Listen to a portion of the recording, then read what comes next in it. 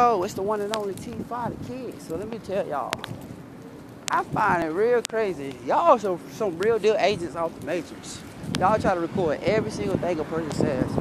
Try to use it against them. You can't use no, nothing against somebody. It's a free will country to speak.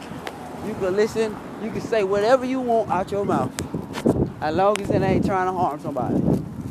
I can sing whatever song I choose and feel. There's nothing you can do so you got people who like to go around and just record.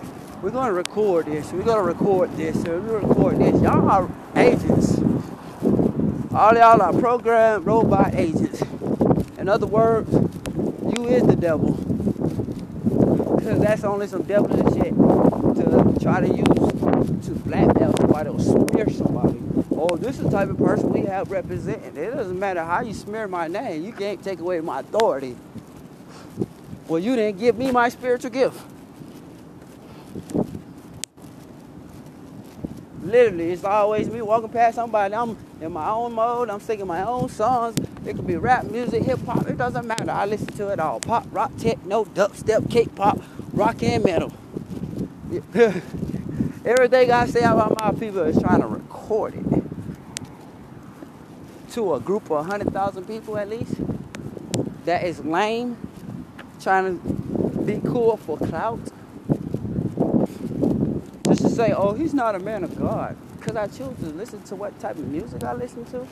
Come on now, y'all hypocrites. I can listen to whatever I choose to listen to. And I can say whatever I feel out my mouth. I'll never be silent. I'll never let another man dictate me. And if you feel some type of way, you already know where I'm going. I I do not care at all. I don't care. I can say what I, whatever I feel out my mouth. Freedom of speech. so therefore, you trying to humiliate somebody or smear somebody because they're choosing to speak out.